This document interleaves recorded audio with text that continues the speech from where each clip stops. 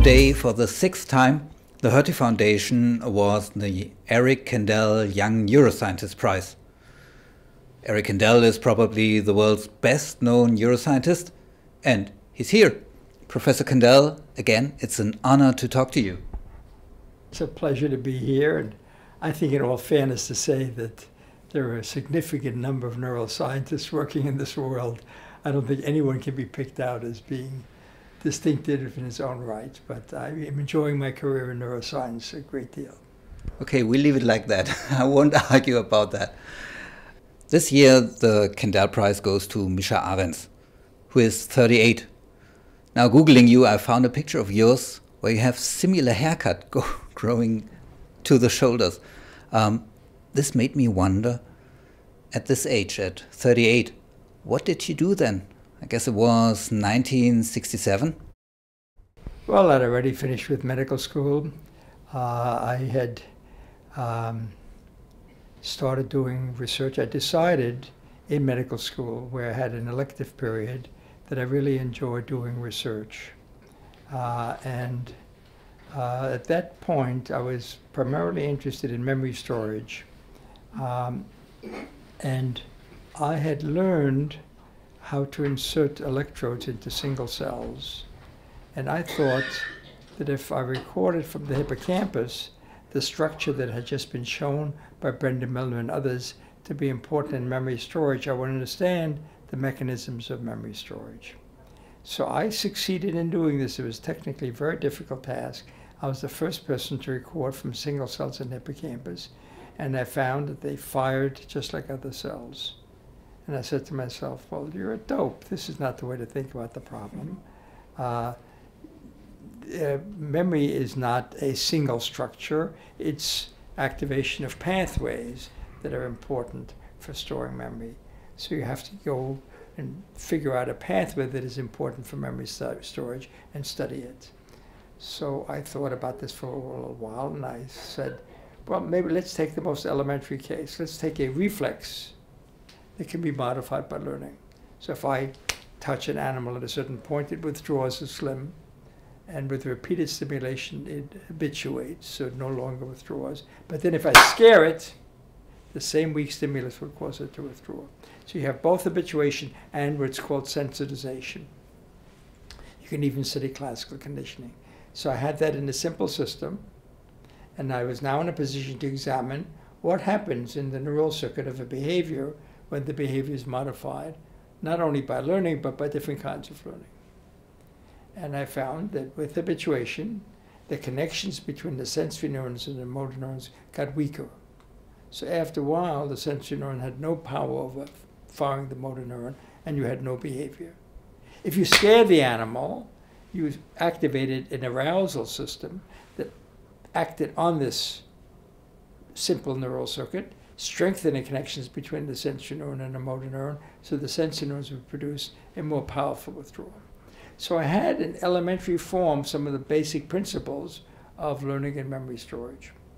Um, then I looked at the difference between short-term memory and long-term memory. Short-term memory is you present the stimulus once or twice, and you get a behavioral change. Long-term memory, if you present it repeatedly, the change persists for days and even weeks. And I found that when that happens, you get an actual anatomical change. So if some an animal is habituated, the connections between the sensory neurons and the motor neurons actually get weaker. Anatomically, they're smaller. If you scare the animal and sensitize it, the anatomical connections get bigger. So really, it was very nice to have a simple system we could work out some of the basic principles of learning and memory. And that got me really excited about working in the field. So, um, post hoc, one could say you were already on the track to the Nobel Prize. Yes. Yes. The 38. I, I, I didn't have this in mind, but I was onto something very uh, productive scientifically through good fortune and a certain amount of you know good taste. Mm-hmm. Uh, and I worked hard at it.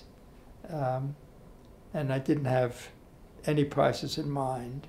Uh, but it was clear that the field found this very interesting and important, and that I was being invited to conferences and things like that, including to Stockholm.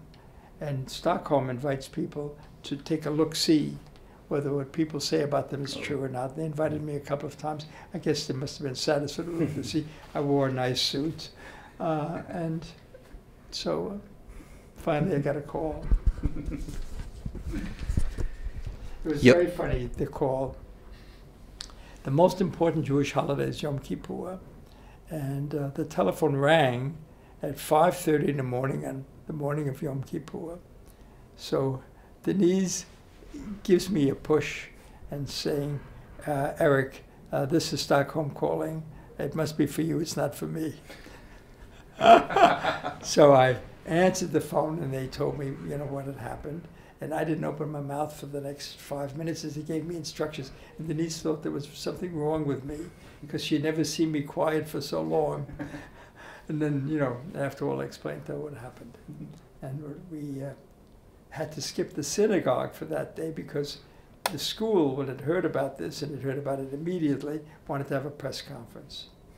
So I just went to the synagogue, said hello to my friends, and explained to them that I wouldn't be able to join them, and then headed off to Columbia, where somehow they had contacted my students. My students came out and greeted me at the door. Ah, the same guy, but now he was different. Your interest in the brain started with Sigmund Freud, but you became a Nobel laureate because of your work on synapses, deep down in physiology. Now you just published a book um, which is called The Disordered Mind What Unusual Brains Tell Us About Ourselves. Is it wrong to say that you completed a circle, maybe? No, I, actually like to think that there is connectivity between my work. Not necessarily consciously planned, but part of it is unconscious. And I think this gives a continuity to my work, which I've really enjoyed. So I sometimes find myself, you know, revisiting problems that I worked on earlier, but on a different level. Either I have new techniques available that I didn't have earlier, or the problem has advanced. So I like sticking with a limited number of themes. Um, it's a little bit like the approach that I took to begin with. Uh, when I began to study learning and memory, you could try to go to a very sophisticated animal with a very sophisticated behavior and look at a very complex form of learning and try to analyze it. And I went to a simple animal that had a simple neural circuit for a simple behavior. It could be modified by learning and analyze that. And I think that was a good move. Now, lately I talked a lot to psychiatrists, and reading your book with um, in its approach to patients, in its point of view, in um, the described results and experiments, I think, as far as I can tell, it's on the forefront of psychiatry. So this made me wonder: is, isn't this a field of hidden expertise for you? Isn't this um, maybe some kind of art? Uh, no, some kind of love, like art, psychiatry. I, Oh, absolutely. I like psychiatry very much. I don't think the field is um, using its potential power as aggressively as it might. Uh, I think the quality of a lot of the science being done is not outstanding, and I'm trying to encourage, you know, good people to move in and do more serious research. But it's coming along. Certainly, there, you know, most psychiatrists are aware that you need controls and you need a significant number of people for most studies. So I think it's it's coming along.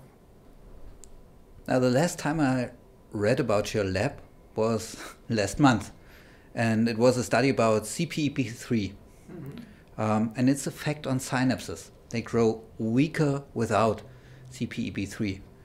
Um, it was a mouse study, but when I talked to you, Mr. Kandel, wasn't there one human being as a subject involved? I'm sorry, was there one human being and subject involved? You? Yes. Uh, I find that when I do similar things that I recommend for these mice, uh, I also do better. So uh, I think the strengthening of connections occurs because there's a hormone released from bone called osteocalcin. When animals move around, they move their bones, they release this osteocalcin, and it strengthens connections between neurons in the brain. And age-related memory loss is associated with a decrease of osteocalcin. So if you can get an animal to walk around more, exercise its bones more, so the bones become stronger, release more osteocalcin, you can reverse age-related memory loss. And although this has not been shown rigorously in clinical studies, I certainly have increased the amount I walk now. And I think, you know, my general impression is from my friends whom I've also encouraged to do this, that their memory's holding up a little bit better than it did before. Do you still play tennis? Of course, I play tennis. I wish I could play better. Uh, what was really disappointing is uh, my tennis improves mostly in the month of August. I go on vacation uh, in the month of August and I play on fantastic uh, clay courts at Oliver's. And he is a terrific pro up there with whom I've been working, you know, for, let's say, one or two days a week for the four weeks that I'm on vacation. And it always helped my game a great deal. For some stupid reason, he didn't bring this pro back, and I had no lessons this summer, so I'm very worried about the season.